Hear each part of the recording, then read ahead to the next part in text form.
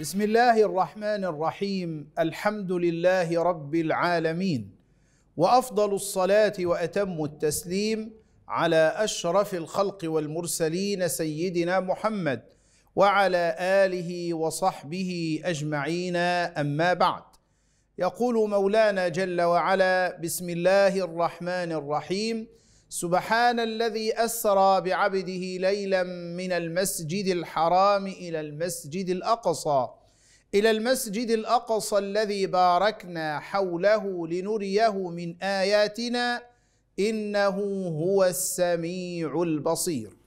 تعالوا بنا إخوة الإيمان والإسلام نعيش مع أنوار هذه الآية الكريمة المباركة خصوصا ونحن في أيام الإسراء والمعراج.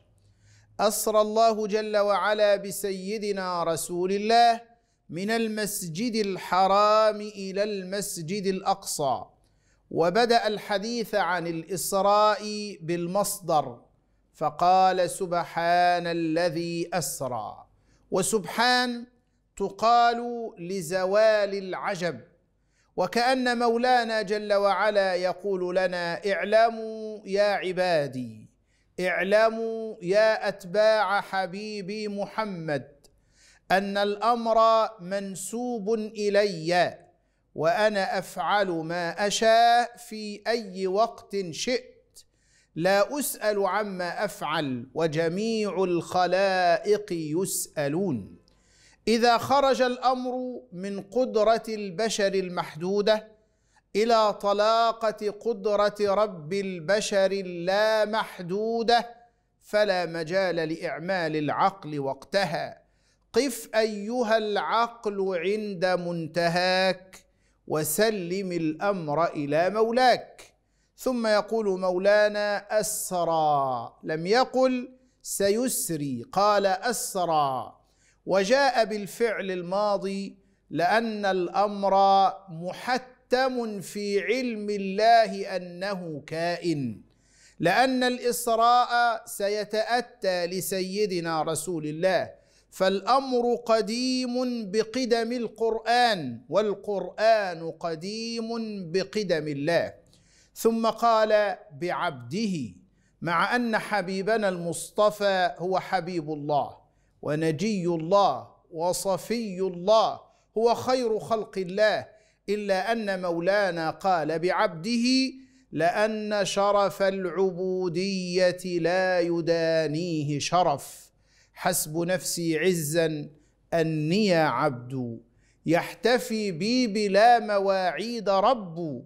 هو في قدسه الأعز وأنا. أناجيه أين ومتى أحب. ثم قال ليلا. وقال ليلا لتظل المعجزة غيبا يؤمن به كل من آمن بالنبي ولم ير النبي. بدليل أن سيدنا الصديق لما أخبروه وقالوا يا أبا بكر إن صاحبك يزعم أنه أسري به البارحة من مكة إلى بيت المقدس. فقال الصديق إن كان قال فقد صدق. أصدقه في خبر السماء أي في نزول الوحي فكيف لا أصدقه في هذا؟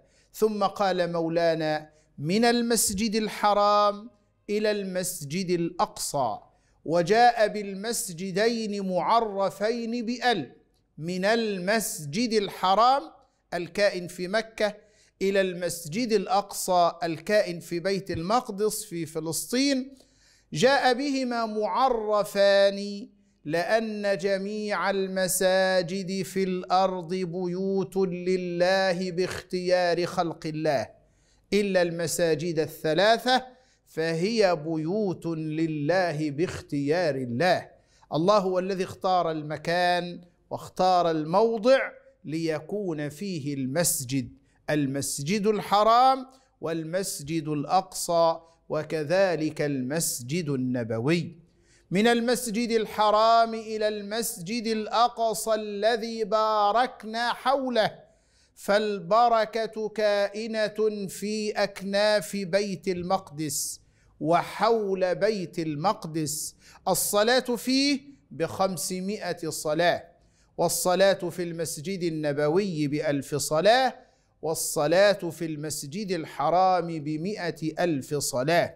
خلاصة القول أن الإسراء هو فعل الله لسيدنا رسول الله وهي معجزة ربانية لخير البرية.